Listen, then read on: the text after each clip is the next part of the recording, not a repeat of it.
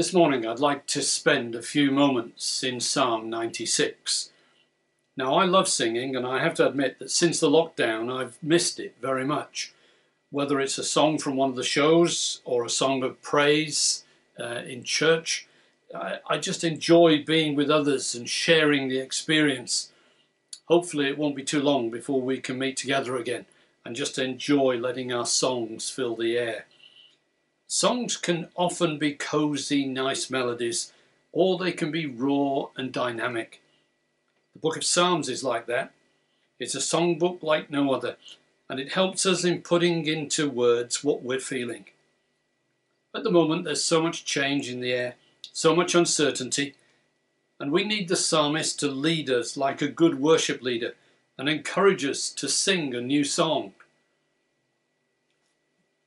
That's what this psalm is about. Thank you, Nicole, for reading it to us. Thank you for helping us to hear it so, so well read. Verse 1 is all about singing a new song.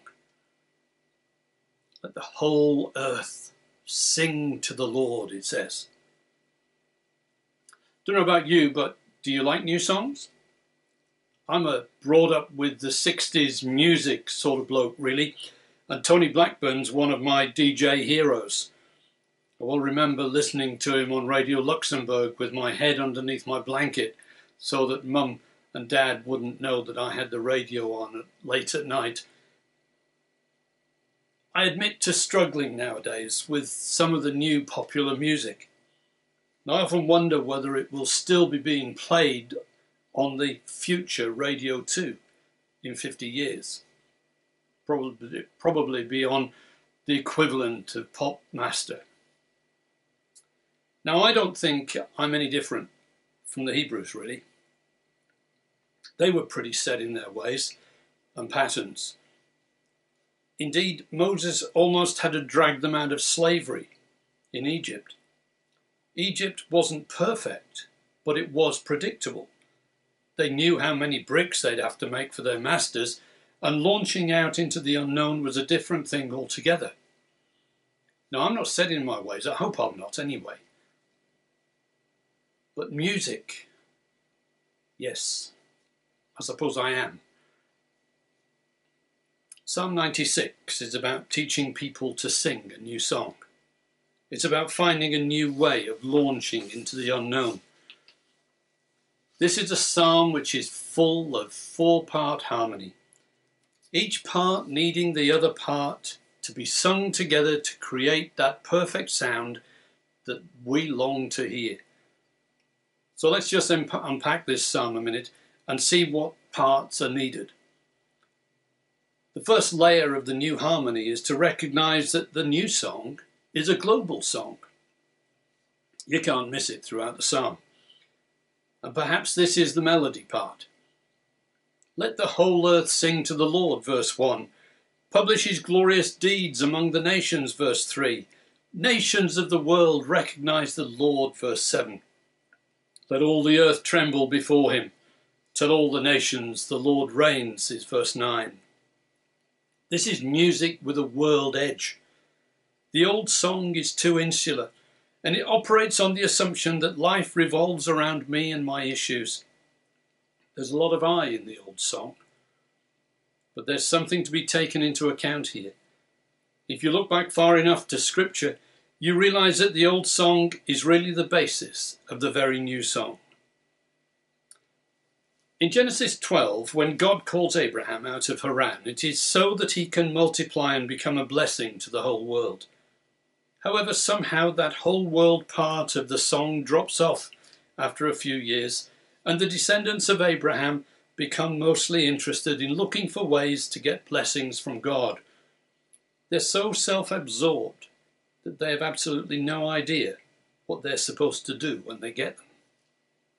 Later on in Israel's history, the low point comes when God sends Jonah to give a message to the hated Assyrians and he runs in the opposite direction because he's afraid that they might repent and experience God's blessing too. But the theme is shouted loud and strong in the Gospels God so loved the world. Go and make disciples of all nations. And in Matthew 16, Jesus leaves Judea and goes north into Caesarea Philippi, which is Gentile territory. It's a pagan area, and it's there that for the first time he admits to being the Messiah.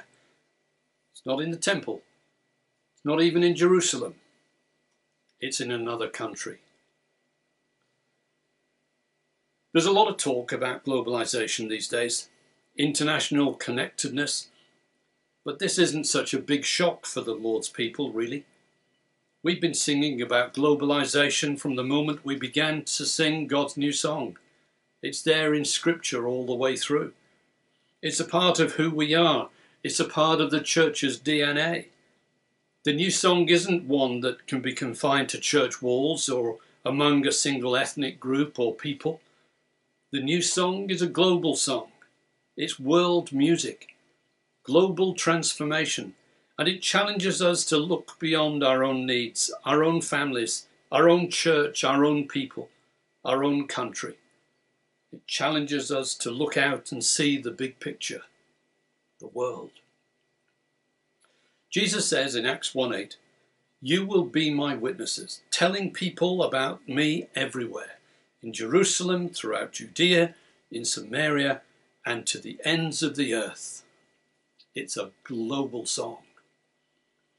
And the second layer of harmony is about the wonder and the works of the Lord. Sing to the Lord and praise his name, says verse 2. Each day proclaim the good news that he saves, publish his glorious deeds among the nations. This second layer is a worship song and it helps us to refocus our lives so that they're responding to our awesome God and what He does. In life, it's so easy to get sidetracked and to start singing our own songs, or at least songs that are about ourselves. We like to sing about ourselves, our issues, our struggles, our loves, and perhaps that's okay to some degree. But there's a new song that's there that is waiting to be sung. And it's not really about you or me, it's about the glory of God. There's something else we need to recognize, though, as we sing this layer of the harmony. There's a paradox at work here. And the more we sing the new song about the Lord, the more our own issues are addressed. You see, when we sing about ourselves, we never get beyond ourselves. But when we sing about the Lord, we're no longer driven by our love quests and failures. The harder we work at fixing ourselves, the more frustrated we become. But the more we focus on the Lord and what He's doing, the more completely our own issues are dealt with. That's quite powerful, really. And it leads us to understand another layer of harmony.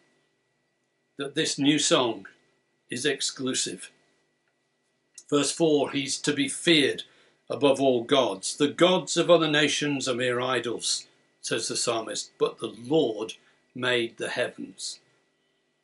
The Bible recognizes that there are other spiritual beings, deities, gods, if you will, with a very small g, deities that have been reduced to idols but they're impotent compared to the Lord. Notice the tagline, the end of verse 5. It says quite bluntly, The Lord made the heavens. The other so called gods of that day, and indeed for much of the world today, seem to be attached to various aspects of nature. There were gods of thunder, gods of the sky, gods of the rivers, gods of the ocean, gods of nature, but the psalmist affirms that it is the Lord Yahweh, the Lord Jehovah, who made the heavens, and he is Lord over all.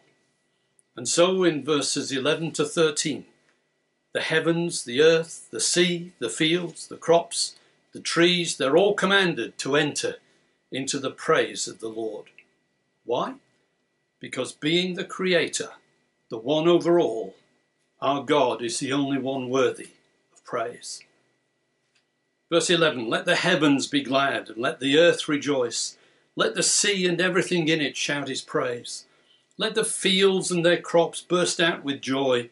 Let the trees of the forest rustle with praise before their Lord, for he is coming. Every single breath. That's the gist of the life that sings the new song. It's all about Jesus, the Lord. And when we sing this part of the harmony, we're joining with the heavens, the earth, the sea, the fields, the trees, and the forests to sing God's praises.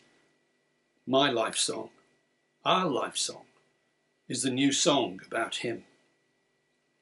And the fourth layer of harmony is rooted in the future justice of the Lord.